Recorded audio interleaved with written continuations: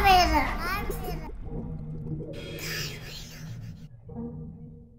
गुरुदेव, यदि किसी व्यक्ति के साथ बहुत से लोगों ने खूब अनुचित किया हो, किसी ने धोखा दिया हो तो ऐसे, ऐसा व्यक्ति जो है डिप्रेशन में चला जाता है और काफ़ी समय बीतने के बाद भी वो चीज़ें रह, रहकर याद आने से और पीड़ा होती है। तो ये जो डिप्रेशन हो रहा है, क्यों हो रहा है और कैसे इन सबसे बाहर निकलकर शांति प्राप्त कर सकें?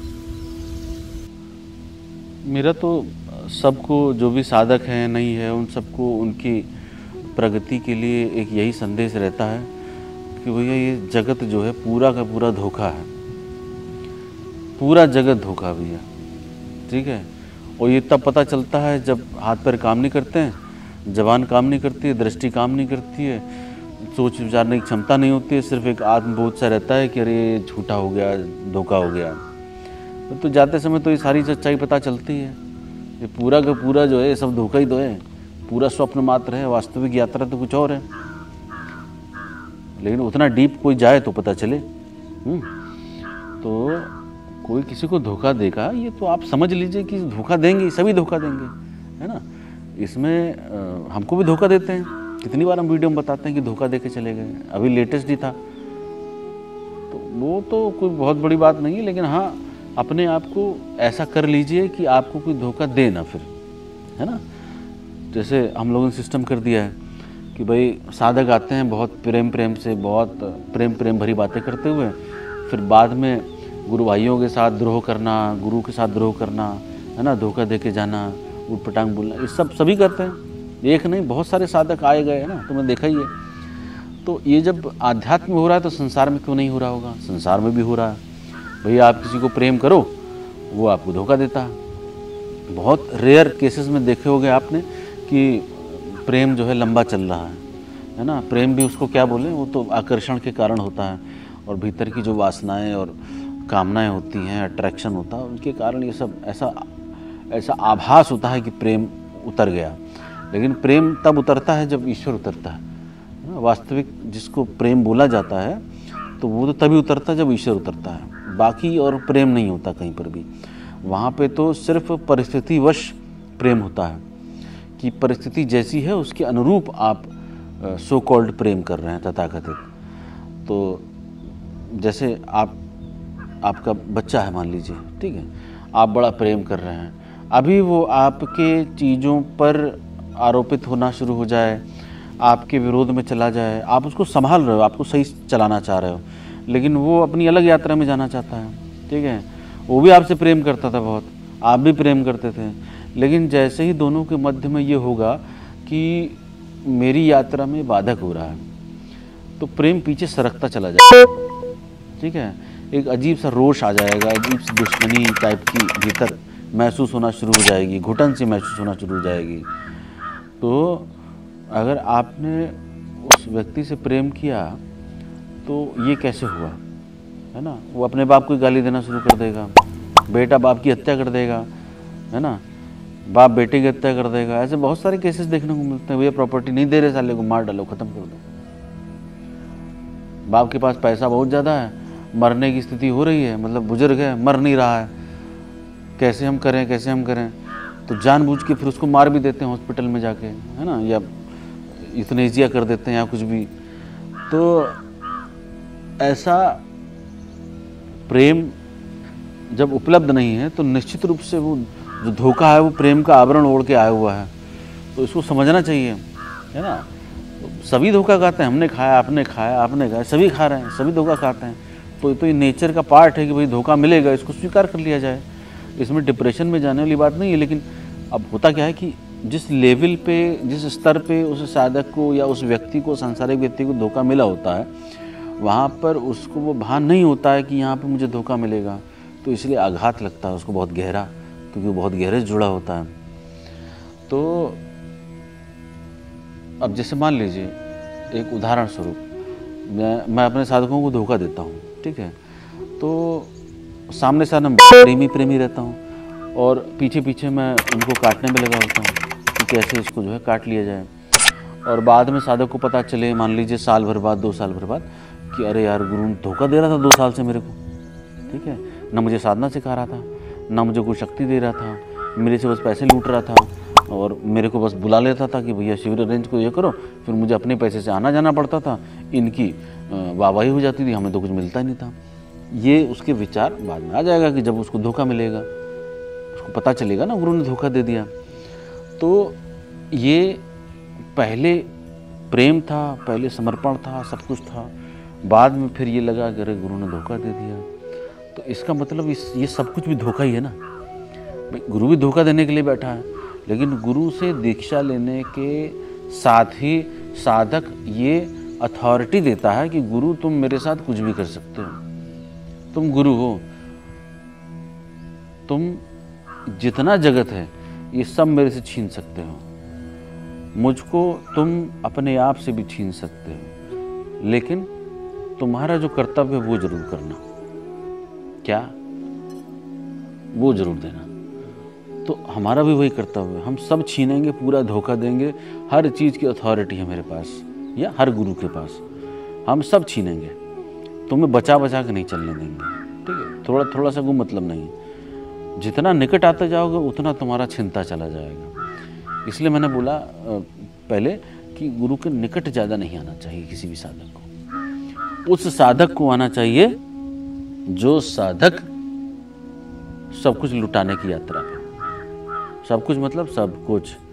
कपड़ा, लत्ता, पैसा, मान, सम्मान, गद्दी, कुर्सी माता पिता ये दुनिया, इश्क, है ना? शरीर, मन मन की अंदर की सारी कचरे वाली भावनाएँ, है ना? गुरु को इज़्ज़त करना, ये सब तुम्हारा छीन ले। ऐसी स्थिति में साधक को रहना चाहिए कि मेरा सब लुट जाए। तो साधक को गुरु का सामिप्य करना चाहिए, निकट आना चाहिए। उस साधक के लिए बहुत अच्छा है जो मुक्ति की यात्रा पे है। उस साधक के लिए बिल्कुल भी अच्छा नहीं है जो साधक माया की यात्रा पे जिसको सब कुछ सेटल करके चलना है सेट करके चलना है मैनेज करके चलना है, उसके लिए तो वो साधक जो अपने गुरु के पास रहे, उसको भी एक मर्यादा में रहना चाहिए। ये तो पहले मान लेना चाहिए उसको कि उसको धोखा मिलेगा तो जब पहले से प्रिपेयर रहेगा तो इतना आघात नहीं लगेगा। लेकिन होगा क्या कि जब कोई दो व्यक्ति परस्पर संबंध में होंगे और ये मान के चलेंगे कि धोखा मिलेगा तो परस्पर संबंध में कहाँ रह पाएँगे? वो तो डाउट करे रहेंगे ना हमेशा। तो ये वैचारिक दृष्टिकोण रहेगा। ये सांसारिक दृष्टिकोण रहेगा तो वो कभी भी प्रेम का या मित्र का संबंध कभी भी सांसारिक दृष्टिकोण से, सांसारिक दृष्टि से, सांसारिक विचार से कभी भी लेकर नहीं चल पाएँगे। लेकिन हाँ अगर वो आध्यात्मिक दृष्टि से चलें तो एक सजगता बना के चलने के लिए बोला जाता है कि सजग रहें, प्रेम में रहें, बस वो दृष्टा बना के चलें। तो जब दृष्टा आपका बना रहेगा तो आपको धोखा भी मिलेगा तो उसको वेलकम करोगे हँसते हुए। और धोखा नहीं भी मिल रहा होगा, प्रेम मिल रहा होगा तो भी उसके लिए बड़े हँसते हुए चलोगे, प्रेम से चल रहे होगे। कि चलो, प्रेम भी मिल रहा है, ये भी जाना है, धोखा मिलना है, ये भी जाना है। एक ने दिया, दस और आएँगे, दस जाएँगे, दस और आएँगे। क्योंकि मैं भी चला जाऊँगा तो मेरा उस धोखे और प्रेम से क्या लेना देना है? ये सांसारिक दृष्टि जब उसकी बनी रहेगी। वैचारिक सांसारिक की रहती है, बौद्धिक सांसारिक की रहेगी। हम आध्यात्मिक की बात कर रहे हैं, आध्यात्मिक का दृष्टा जागृत रहता है, उसको ये विवेक रहता है, सदैव। है ना? वो योगी रहता है। योगी जैसे चौबीस घंटे जागा रहता है ना, सोते हुए भी जागा रहता है। संसारिक साधक क्या होता है? वो अपने जो, वो चक्रों वक्रों की बात हो रही है, उन चक्रों के कारण वो थोड़ा सा ऐसी अवेयरनेस में रहता है। लेकिन जो योगी होता है, उसका आत्म जागृत रहता है। तो जब आत्म जागृति रहती है तो वो जागे हुए, सोए हुए दोनों समय ही जागा हुआ रहता है। उसको कोई बरगला नहीं सकता है उसको कोई झुटला नहीं सकता, उसको कोई धोखा नहीं दे सकता। है उसको, उसका रिमोट कंट्रोल उसी के हाथ में होता है दूसरे के हाथ में नहीं होता है कि कोई भी आके उसको बहला फुसला के सिगरेट पिला दे, दारू पिला दे, या क्रोध करवा दे, या अहंकार पे चढ़ा के ऊपर से नीचे गिरा दे, उस योगी को नहीं, तपस्वी को नहीं गिरा सकता है। ऐसे सांसारिक साधक को ये करना चाहिए कि अपना संबंध किसी से ना बनाए। अगर उसको धोखे से डर लगता है तो ठीक है?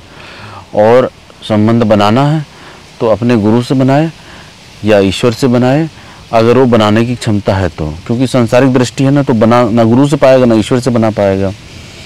तो उसके लिए तो उपाय सबसे बेस्ट तो यही है कि भैया अपना समदृष्टि रखो, सबको समभाव से देखो, किसी से बहुत ज़्यादा इन्वॉल्व मत हो। लेकिन उनको मज़ा भी लेना होता है धोखे का, उनको प्रेम का भी मज़ा लेना होता। है क्योंकि उसका भी तो मज़ा है ना, धोखे का मज़ा है। धोखे में एक्चुअली क्या रोना होता है? फिर थोड़ी सी ग्रीड भी होती है सांत्वना की, अरे को सांत्वना ही देता है यार। बैठाल के पीठ थप्पाता अरे कुछ नहीं यार, हम तुम्हारे साथ हैं यार ये सब होता है, जमाना ऐसा ही है। उसकी, उसका लालच भी होता है। तो इस कारण से भी उसको धोखा मिलता है तो वो चाहता है कि भाई मुझे कोई लोग आ जाएँ, सांत्वना दे दें। बहुत सारे मैटर होते हैं साइकोलॉजिकली देखने जाओगे तो बहुत ज़्यादा अंदर भरा पड़ा है। उसके अंदर से डिमांड होती है सब चीज़ की, इसलिए फिर धोखा मिलता है। भाई डिमांड ही ना हो, तुम्हें नहीं चाहिए प्रेम भैया। जैसा है, चल रहा है, ठीक है। ये ये भाव लाने के लिए तो उसको संसार से अध्यात्म जम मारना पड़ेगा, ठीक है? अब वो संसारिक लोग हैं, अगर वो लोग समझना चाहते हैं कि धोखे से कैसे बचें, या उस डिप्रेशन से कैसे बचें, या अब धोखा मिल गया है तो कैसे हो तो ये धोखा मिला हो तो ये दवाई वही मत खाना कभी। नींद की गोली या डिप्रेशन की गोली, ये सब मत उतरना। चुपचाप किसी गुरु को पैर पकड़ लेना तो कोई अगर सक्षम गुरु होगा, उसके पास बैठ के ही अपने आप शांत हो जाएगा। या गुरु की कहे पे चल लेना, अपना छोड़ देना, क्योंकि तुमने अपना चलाया तो तुम्हें ये मिला। तो अब थोड़ा सा गुरु कहने पे चल लो तो हो सकता है कुछ इन सब चीज़ों से ऊपर की चीज़ मिल जाए। या अगर नहीं इतनी हिम्मत हो कि गुरु का सानिध्य कर सको तो कोई मेडिटेशन वाले कैंप में जाके एक दिन, दो दिन, दस दिन वाला चुपचाप ध्यान व्यान कर लो, ठीक है? और धीरे धीरे उस ध्यान को अपना एक अंग बना के प्रतिदिन की क्रिया का हिस्सा बना दो। तो उससे आपको थोड़ा सा लाभ मिलेगा और जो आपने कर्म किए हैं, उससे अगर सीख लेते हुए चलें तो फिर वो परिस्थिति दोबारा ना जन्मे। ऐसा भी अगर किया जाए तो आगे बचा जा सकता है है ना? और डिप्रेशन डिप्रेशन कुछ होता नहीं है। डिप्रेशन जैसी चीज़ कुछ भी नहीं होती, ये सब बनाया हुआ है है ना? जैसे दर्द होता है तो दर्द किसी एक चीज़ के इम्बेलेंसेस के कारण हो रहा होता है। जैसे मान लीजिए, हड्डी टूटी तो दर्द हो रहा है। अब तुमने गोली खा ली दर्द की तो तुम्हें वो भुला देगी ना कि दर्द हो रहा है। तुम्हें लगेगा, मैं ठीक हो गया, अब चलने लगे। लेकिन गोली का असर होगा ना, दो, चार, दस, पंद्रह घंटे में, बीस घंटे में, फिर तुम्हारे पास असलियत सामने आएगी। तो वो इस प्रकार से नहीं करना चाहिए। तो इतनी गहराई पे जाके सिर्फ़ मेडिटेशन या गुरु कृपा या गुरु का आशीर्वाद ही कार्य करता है, इतनी गहराई पे जाके कि आपके शरीर के स्तर से जाके बहुत गहराई पे जहाँ काम हो रहा है, जहाँ वो ग्रंथियाँ आपको हड्डी टूटना कर रही हैं, आकर्षित कर रही हैं डिप्रेशन सो कॉल्ड आकर्षित कर रही हैं, है ना? तो ये एक्चुअली मन की प्रवृत्ति होती है। तो जब मन की प्रवृत्ति में वो ग्रंथियाँ दबी हुई रहती हैं तो आपको इस तरह के अवसादों से, अवसादों पर आकर्षण पैदा कर देती हैं।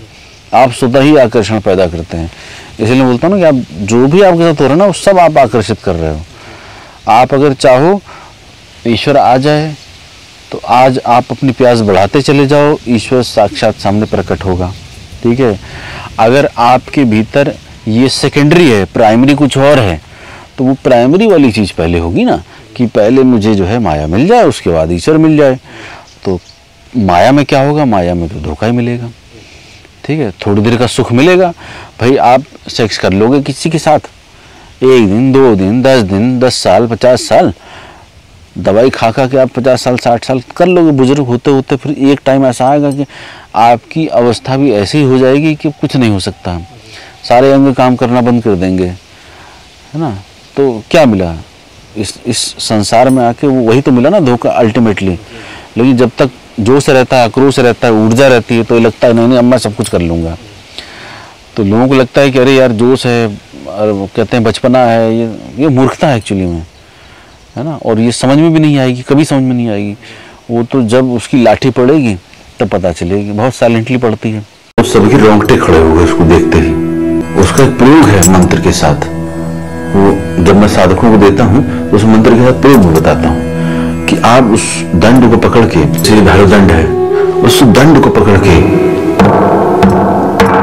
ऐसे तीन बार उस मंत्र का उच्चारण करके, अगर आप अपने तीन बार उस स्थान पर ठोक दिया।